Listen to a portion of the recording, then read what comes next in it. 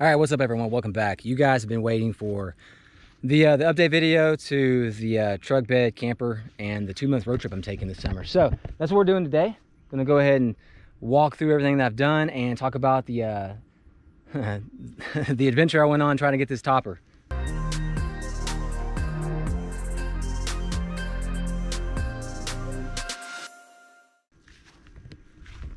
Okay, so yeah, um, back after I did the first build, I uh, went ahead and I built the bed platform and everything and kind of scoped out what I wanted to do inside. And I started calling around trying to find a topper.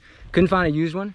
So I called ARE um, and they said, hey, if you if you order one right now, it'll be here before Memorial Day. I was like, okay, that'll work. So I'm leaving, you know, middle second week of June or whatnot. So ordered that in. Um, they called me uh, maybe a week before Memorial Day and said it was being shipped. It would be here the following Wednesday and they would install it before Memorial Day. So I was like, cool. They, you know, the last thing they said though was, uh, we'll send you a confirmation. So I didn't get the confirmation. So I called them on Thursday and found out that the camper had not been built. It hadn't been shipped and it wasn't scheduled to be shipped or built until the end of June, going into July, probably getting at the end of July. Um, and that was, they, were, they weren't super optimistic about that because they were having a shortage on fiberglass.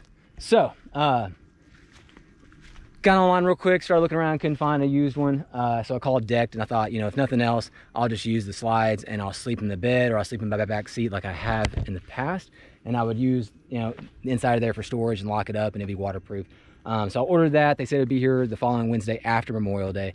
So I woke up Saturday morning and I started looking around and I expanded my search by like 500 miles, uh, which got me into like Oklahoma City. And sure enough, there was a guy there who had a Nissan Titan Pro 4X. It was a red one.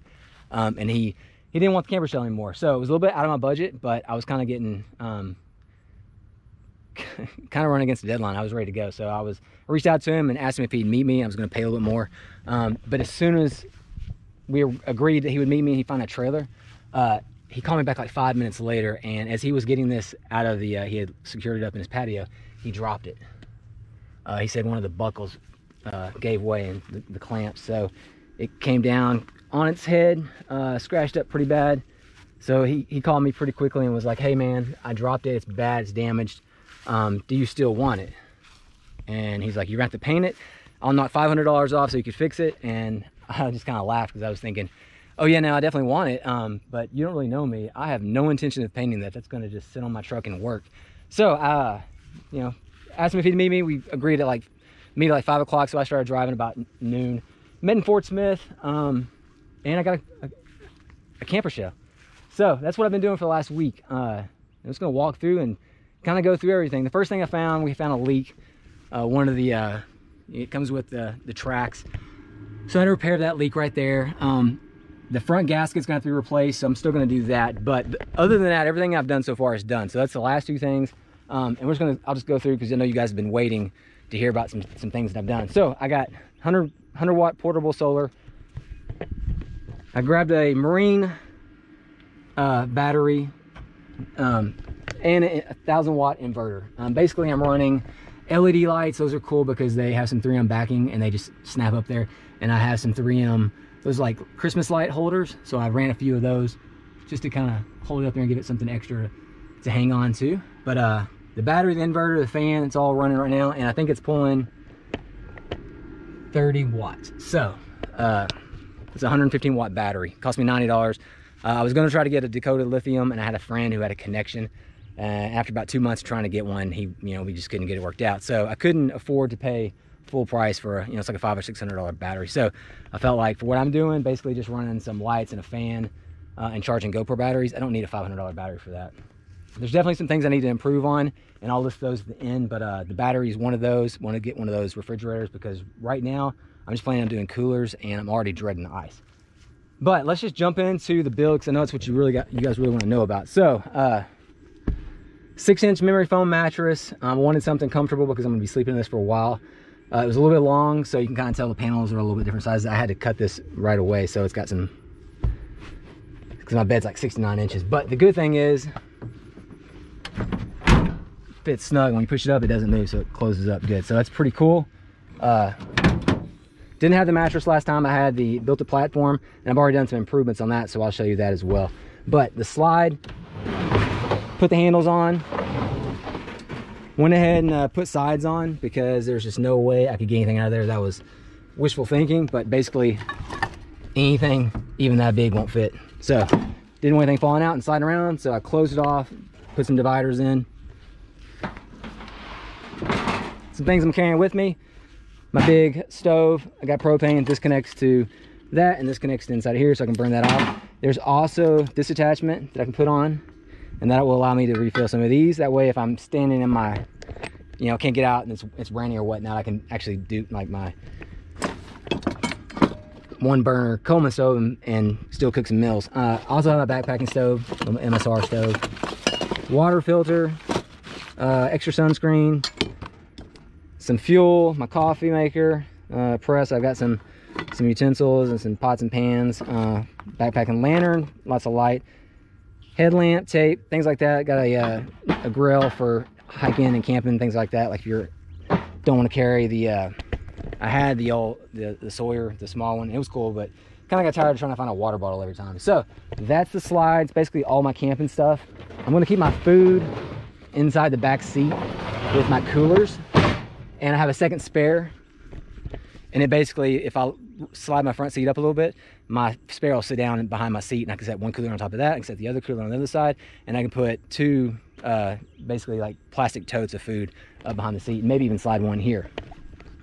So, got my propane sitting in a you know milk carton, but I, I wrote it's it's raised a little bit so I can slide this in and out like this. I'm not gonna do it all the way because I have the battery on it and it's kind of heavy, but you get the idea.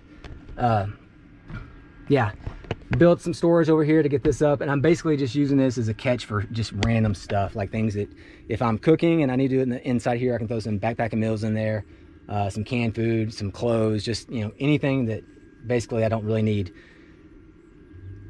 like dedicated storage for them. It's just, you know, something quick and easy, jackets, whatever, um, and out of the way. My daughter built the uh, the curtains. Those are those are fun. She wanted her own little touch on here, so and she's got another one to come through on the back window. Um, I do have a mosquito net, bug net, and it's just attached with Velcro. You can see up there, runs across the top. I have some ties in, kind of tie those back so it's out of the way.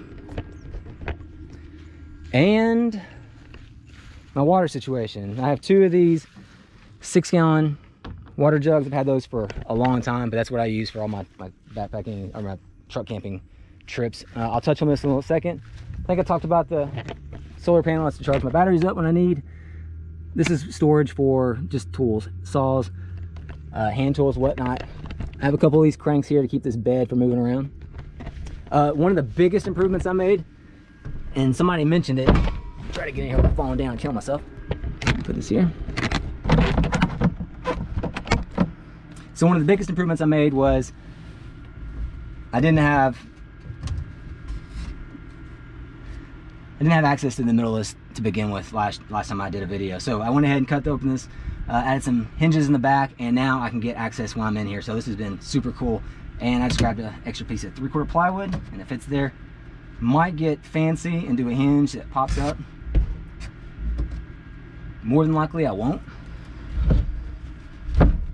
That's that. That's the bed.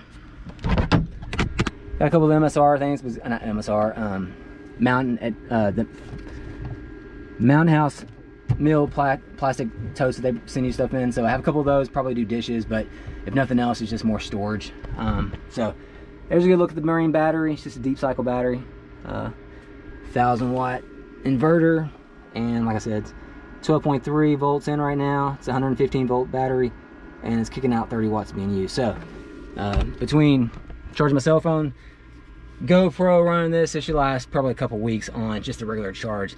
I also have a uh, an old battery charger and I can kick into a campground every now and then if I can't get enough solar power to, to you know recharge this. Spend a night, spend 30 bucks and stay in the campground and charge my battery and then go get off the grid some more.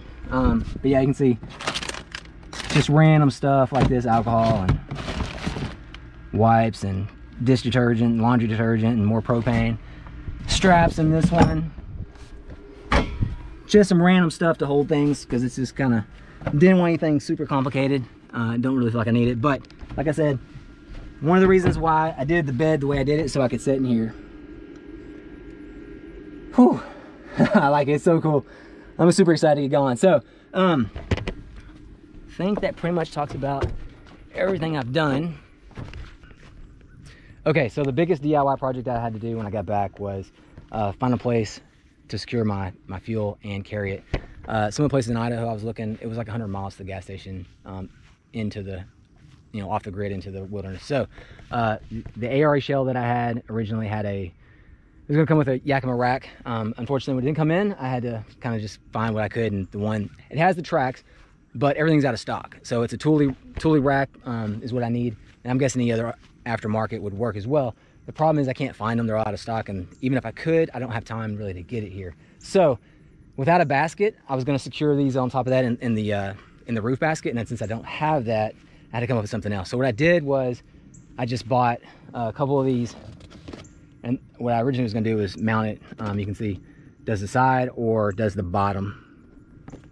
And it has little places where you could do some bolts through the bottom and I was gonna mount it on the basket. So um, unfortunately the rack didn't come in so I had to do something else. So what I've done, just grabbed some metal from the uh, local hardware store, some stainless bolts, bolted those through. Um, and I grabbed a cargo basket, took the wings off, and it's got a 500 pound capacity and it drops and lower so I can drop it out of the way. Uh, and I'll raise it up here in just a second and show you what it looks like when I'm driving. But that's what I've done. Um, like I said, took, that was the, the biggest project because I knew I needed uh, a place to, to, keep my, my fuel with, you know, by the time you drive 100 miles in, drive around for, you know, a week or two weeks and then try to drive back with it. My truck gets about 330 miles. So uh, the range and just wasn't working for me. So that's what I've got going on. Some other things I've got, uh, obviously bear spray, fire extinguisher. This is my air compressor to air up and air down. Uh, a big thing that I've done was go ahead and get a spot, and I've been using this for the last couple trips. And it's been cool. My wife is, she's able to get my messages and check in, and she gets the GPS, so she knows what I'm doing. Um, yeah, I think that's pretty much it. Uh, improvements I need to make. Um, obviously, I'm running coolers this trip, two coolers, two Orions, and running ice is kind of a pain. Uh, I'd love to have one of those refrigerators, and I almost like last minute, almost you know went in and got one. Um, but it's kind of already getting kind of cramped and I felt like it would take up the majority of this space here. And the, the battery I have is, you know, I don't know how much those, those pull on a charge, but that's another six, five, six hundred dollars by itself, but probably worth it in the long run. So probably gonna do that. It's probably the first improvement I'm gonna make. Um, yeah. Spare tire and fuel. I definitely gonna try to find something, another something that swings away because I felt like I, it has to get out of the way so I can get in and out, but I don't necessarily want it on this. I'd love to be able to get this over here uh, and carry my spare tire here and open up the rest of my back seat for everything I'm gonna do.